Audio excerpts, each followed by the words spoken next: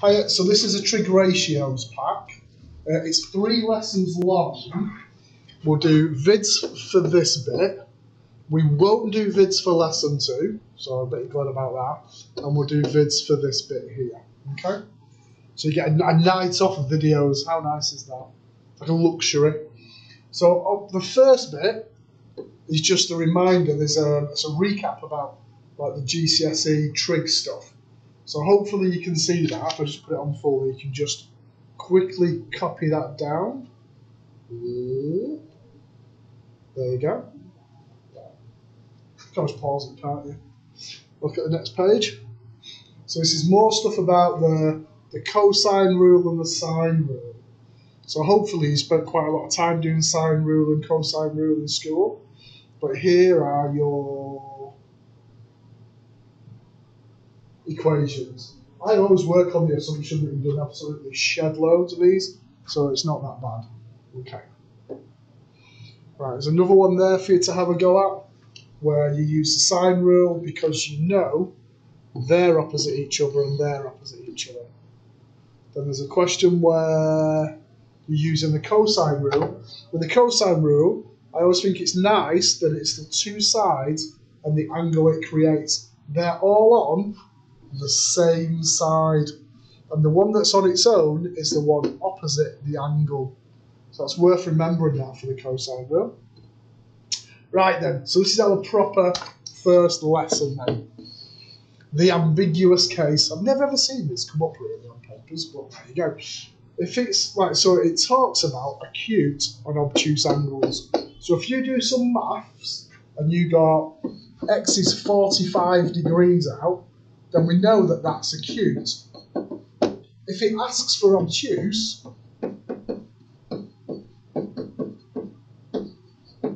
just do 180 take away the angle. So it's 135 degrees there. Right, so that's pretty much it really.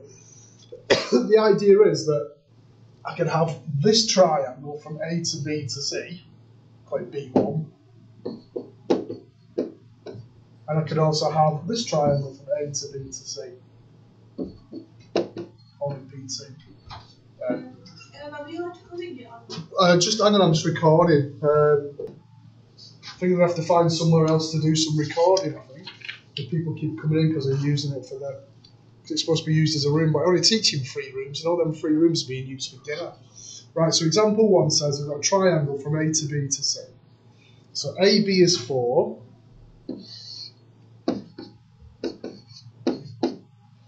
AC is three.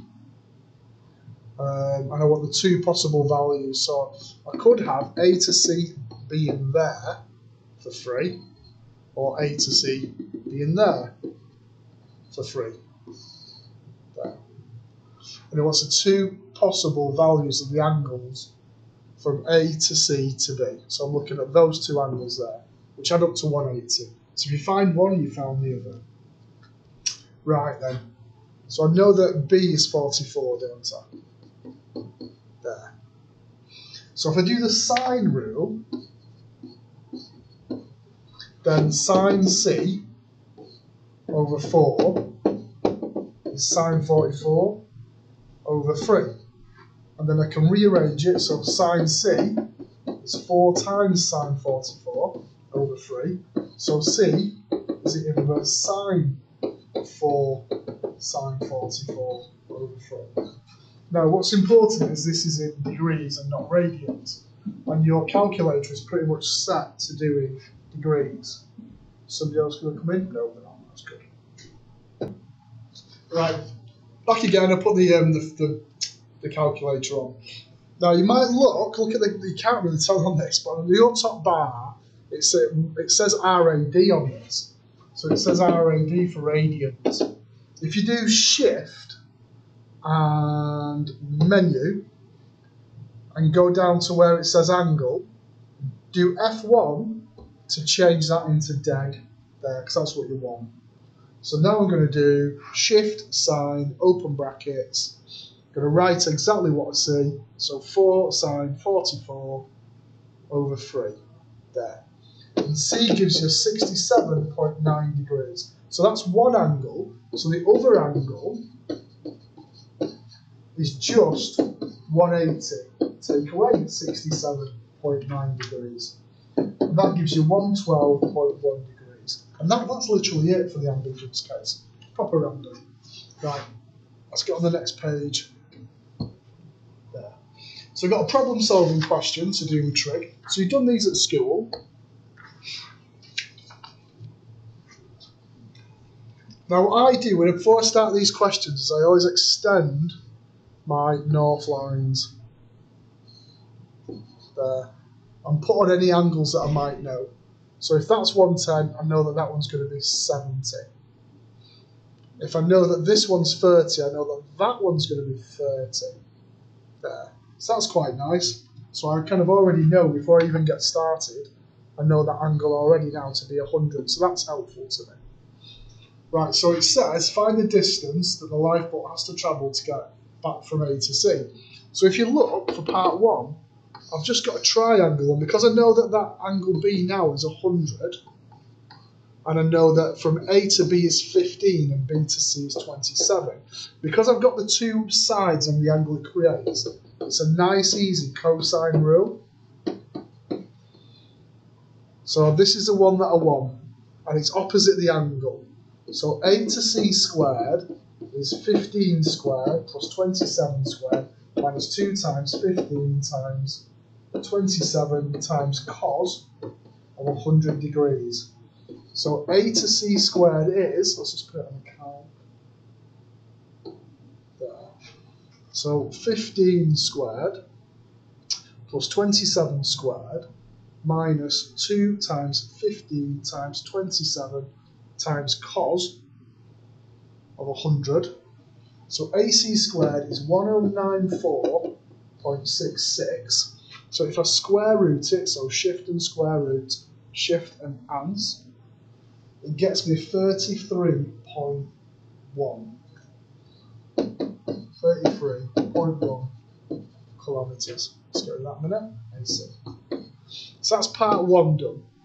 Part two, so I'm putting 33.1 on there now. Part two says find the bearing on which the lifeboat has to travel from C to get back to A. So with bearings, remember you go from north, and I'm going to go around that way. Right, so, oh, got another angle here, haven't I? That's got to be 70. There. So if I find this angle, and add this onto the 70, and then take them away from 360, I've got my bearing. So I want to find the angle from B to C to A. So part two.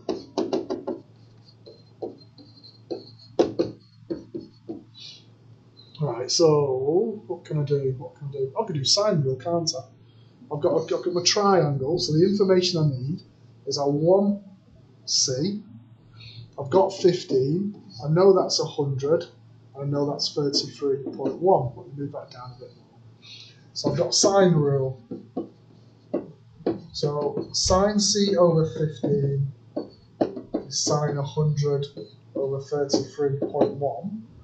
So c is the inverse sine of 15 lots of sine 100 over 33.1. Do I need to do that on my calculator? Let's do that then. So shift sine, open your brackets, 15 sine 100 over 33.1. So C is 26.5 degrees. Let's go back up to that picture. So I know that that's 26.5. Put it in there really small. So the ones I know are 70 plus 26.5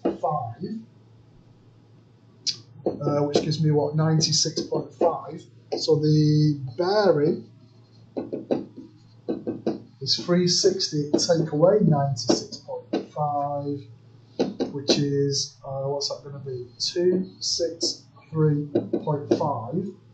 So I guess 264 degrees because we tend to go three, three, three numbers, don't we, for an angle. Although if you were one degree out and you were aiming for France, you'd probably end up in Spain.